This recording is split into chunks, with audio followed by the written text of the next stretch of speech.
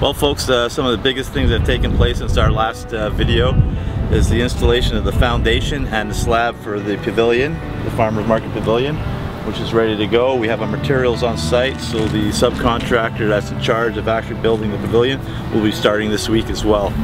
Uh, we've started to do a lot of earthworks to bring up the grades to get prepped for uh, asphalt. Uh, they've been working on the City Hall parking lot and on the roadway itself.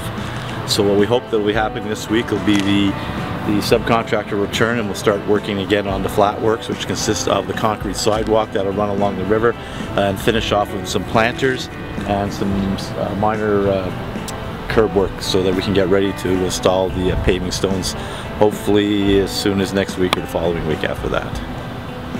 Uh, one of the changes that we've made uh, in order to realign the road is that we've changed the actual shape of the pavilion.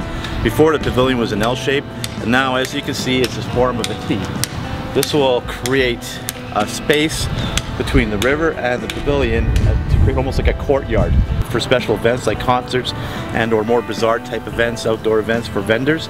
Uh, what we can do is we have bollards that can be installed and, and, taken out to ensure that this is kept safe for pedestrians and uh, users of the area.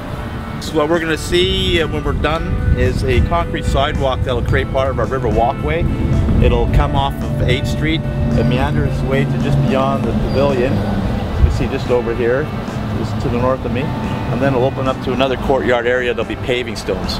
Also here we'll have a courtyard in between the pavilion and the uh, river walkway which will, also be paving stones, but they'll be different colors. We're trying to achieve a, a blend of different colors. We'll have a gray, charcoal colors in this area. We'll have more of a brownish beige in that area, and it'll help identify different areas so people will know when we're coming and we're saying we're having a special event within the courtyard of the pavilion, they'll know to come to this general area. If we're having something more open space, they'll know to go there. Um, and we're trying to mix the colors and try and take it, make them match what we have in our natural environment and take advantage of the beautiful scenery that we have along the uh, one of our natural features right, right in the heart of our city. So it's a blend of different colors and different textures just to break it up, just so it's not one great big monolithic, and by that I mean one great big giant concrete slab. We want to make it up, make it look attractive, blend in with the with the age of our, our, our buildings and, and create more of a, like we're an older city. Yeah, we're not just some new city that just popped up, so let's make it look like something unique and something very inviting.